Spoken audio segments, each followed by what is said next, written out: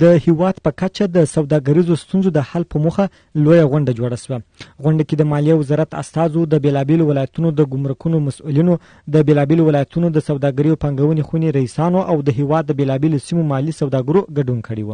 د ملي سوداګرو په خبر د اسلامي امارت پر راتګ سره زیاتې ستونزې حل شوې خو لا هم په یو شمیر سوداګریزو ستونزو کې د حل غوښتنه کوو د کندهار په یو خصوصي سالون کې د هیواد په کچه د سوداګریزو ستونزو د حل په موخه لویه غونډه جوړه شوه د غونډې په پیل کې د کندهار د سوداګرۍ او پانګونې خونې او د اقتصادي شورا رئیس الحاج محمد صدیق مومن ټول مسؤلین او سوداګرو ته ښه راغلاست ووایه او ویل یو هیواد د سوداګرۍ په مټ پرمختګ کولی شي چې باید ټول سوداګر له اوسني نظام سره څنګ په څنګ ودرېږي چې په خبرې الحمدلله د اسلامي امارت پر راتګ سره په افغانستان کې سوداګري پرمختګ کړي او هم سوداګري ته پوره زمينه برابره ده او هم یې ډاډ وړاندې کړ چې د هیواد په هر برخه کې به د سوداګري د پرمختګ لپاره هڅې وکړي درنو مشرانو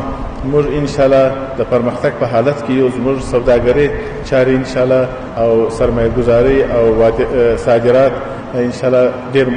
مخ روان دي زه غواړم جناب والي صاحب چې دغه محترم حاجي صاحبان چې راغلي دي او د ګمرکاتو عمومي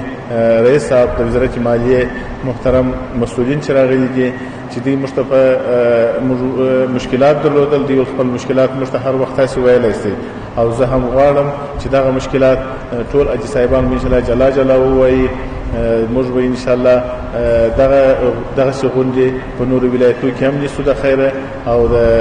کابل کې او په ټولو ولایتونو کې به دا غونډې غواړم چې وینیسو او آینده موږ پرمختګ وکړو او دا پرمختګ چې اقتصادي پرمختګ ونه کړو نظامي او نظامي پرمختګ سوی دی جهاد ان شاء الله پای ته ورسېدی تاسو هغه خپل زحمتونه او تکلیفونه ټول مجاهدینو وکړل اوس د تاجران باید خپل هغه زحمتونه او هغه کې کړی دی هغه ان شاء الله باید نور هم دوام ورکړي درانه تجارانو دا خپل ملک و ان شاء الله مرتس په خپل آباد کو ټول دنیا هر ملک چې آبادی راغلی ده تاجر په دې کې خاص خاص خاص رول لوبولی دی وروسته کندهار والي حاجي محمد یوسف پوپا ټولو ته د ښه راغلاست ویلو ترڅنګ خوښي